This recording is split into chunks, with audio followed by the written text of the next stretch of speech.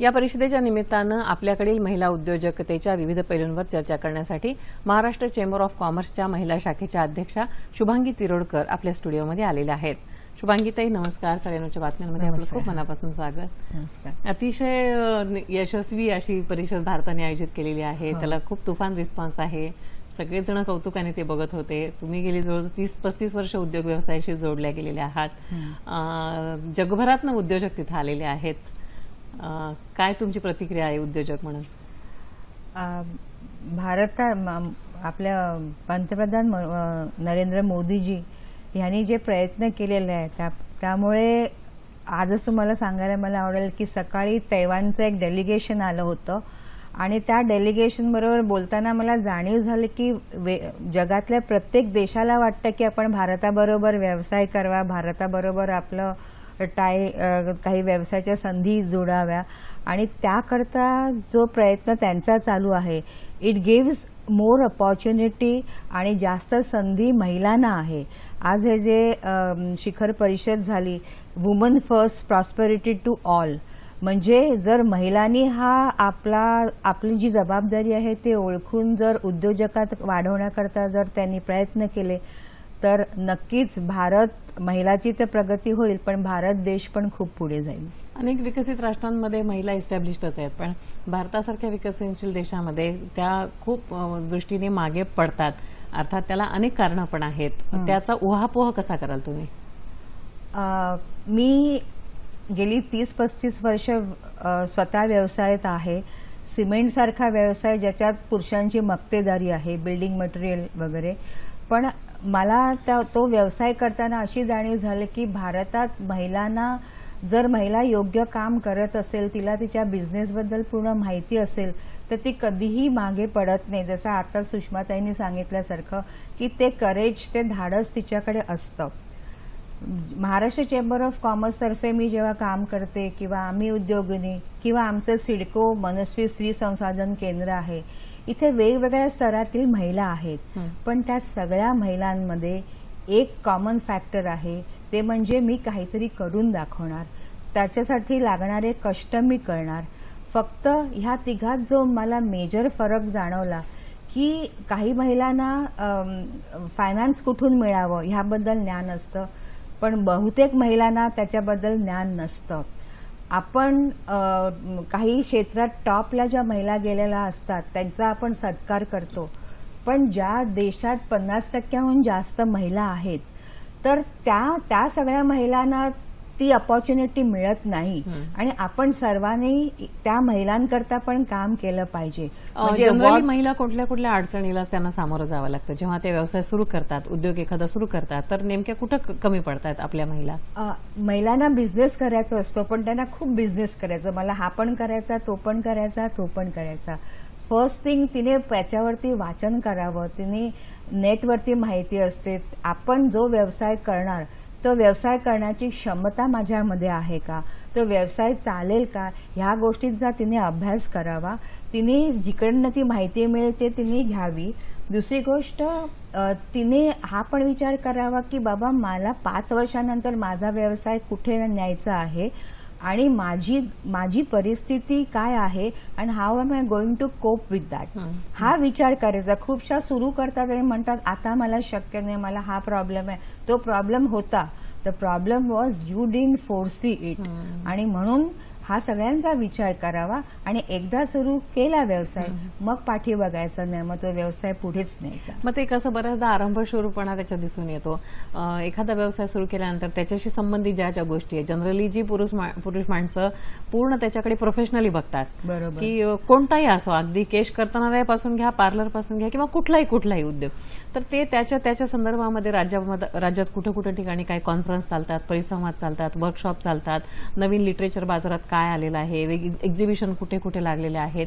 त्या सगळ्यांकडे त्यांची चौफेर नजर असते आणि त्याच्यातून ते त्यांचा व्यवसाय कसा वाढेल ह्याकडे लक्ष देतात.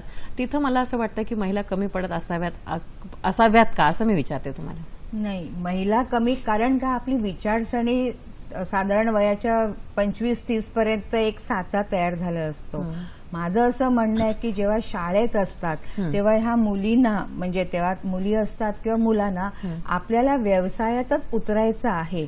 हे. त्यांना तेव्हा त्यांना ते- सांगण्यात या- यावं. त्याकरता त्यांची मानसिक तयारी केली जायला पाहिजे. आणि त्यांना त्यांना सध्याची स्थिती अशी आहे की नोकऱ्या ह्या फार कमी आहेत.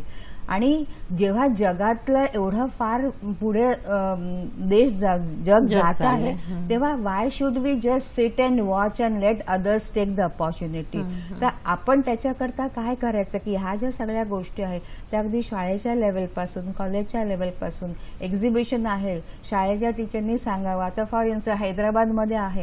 तर हैदराबादल्या शाळेच्या मुलींना वगैरे त्यांनी ॲज अ पिकनिक त्यांनी तिथे घेऊन जायला पाहिजे. तेवढं शक्य नसेल तर तुम्ही ते नेटवरनं त्या मुलींना दाखवा. त्याच्यावरती चर्चा करा. Let that process of thinking ती चालू व्हायला पाहिजे. तुम्हाला ते ते ते तिथे रीच करायचं आहे. त्याच्याकरता प्रत्येक दिवस प्रत्येक क्षण हा इम्पॉर्टंट आहे. म्हणजे सगळं करताना महिला मार्केटिंगमध्ये कमी पडतात असं जाणवतं का तुम्हाला? महिला म्हणजे आता गृहउद्योग करतील भर- भरपूर प्रोडक्शन बरोबर. पण त्यांना कुठून येऊन विकायचं? त्याचं गणित कसं मांडायचं? स्टॅटिस्टिक कसं करायचं? अकाउंट कसं करायचं? प्रॉफिट मार्जिन कसं शोधून काढायचं? त्या गोष्टीमध्ये त्या कमी पडतात. त्या बनवतील खूप सगळं चांगलं. बरोबर. पण तिथे तर आता मी जे महिला एनजीओ बरोबर काम त्यांनी कुठं कॉन्टॅक्ट केला पाहिजे? काय कुठं मदत मिळू शकते? सगळ्यात एक इम्पॉर्टंट गोष्ट आहे की ईडीपी आंतरप्रिनर डेव्हलपमेंट प्रोग्राम की मी कुठला व्यवसाय करावा? त्याचं मार्केट काय आहे? हे पहिल्यांदा जाणून घ्यावं.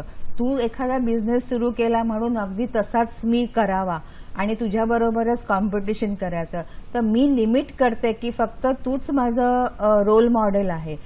ज आता एवढे एवढे आपण बघितलं की एक बावन्न टक्के स्टॉल्स हे महिलांचे आहेत आजच्या सेमिनारमध्ये त्याबद्दल माहिती काढा आणि इथे आमच्यासारख्या चेंबरची किंवा आमच्यासारख्या एनजीओची जबाबदारी येते की इतर महिला की ज्यांनी ज्यांनी हे बघितलं पण नसेल आज ते सिरियल बघत असतील साडेनऊच्या बातम्या बघत नसतील किंवा इवांका कोण काय कुठली असं फक्त असेल तर त्यांना त्यांना ती स्फूर्ती द्यायला पाहिजे की अच्छा हे तू बघ हे तू कर हे असं असं आहे. तर तिच्या मनात विचार असेल की अच्छा मी हा व्यवसाय करणार होते पण हा जास्त चांगला व्यवसाय आहे. आमच्या जे एन पी टीमध्ये आता एवढी मोठी मी नवी मुंबईची आहे. जे एन पी टीमध्ये एवढं काम सुरू होतं आहे किंवा रस्त्यांचं काम सुरू होतं. किती किती किती पण त्याच्यात अपॉर्च्युनिटीज आहे. Why are we not thinking why are we in the same box करायचं. काय सांगाल तुम्ही की शासनाच्या खूप केंद्राच्या आहेत राज्याच्या आहेत आहे. बँकांच्या आहेत.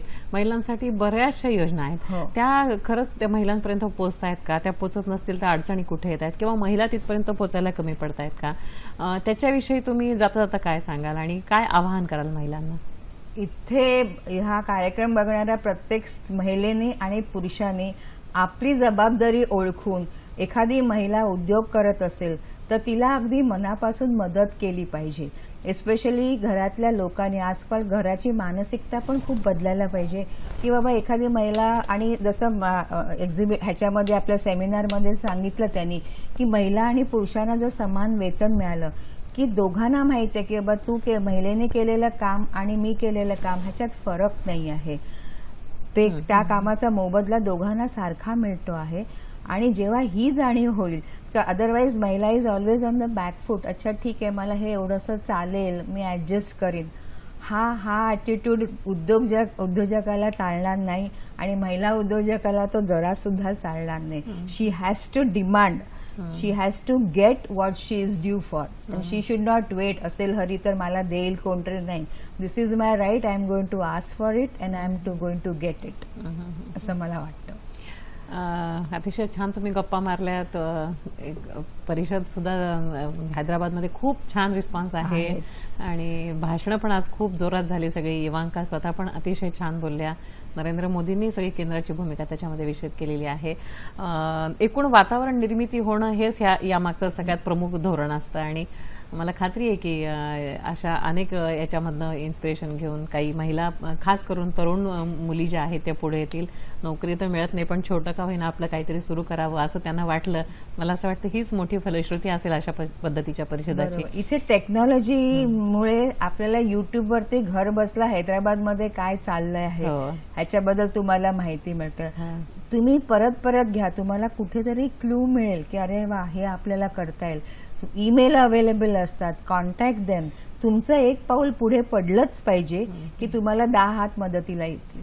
आणि हे आपण सगळ्या महिला करतील. आणि मी तुम्हाला खात्री देते की बाबा माझ्या जे प्लॅटफॉर्म्स आहेत त्याच्यातर्फे मी महिलांना याबद्दल नक्कीच जागरूक करेन. थँक्यू ताई. थँक्यू जिथं. पुरुषांची मक्तेदारी आहे अशा सिमेंटच्या व्यवसायामध्ये गेले तुम्ही पस्तीस वर्ष दमदार काम केलेलं आहे. तुमच्या पुढच्याही वाटचालीला उद्योजक म्हणून खूप शुभेच्छा. आमच्या स्टुडिओत आल्यात. मी आपले आभारी आहे. थँक्यू धन्यवाद.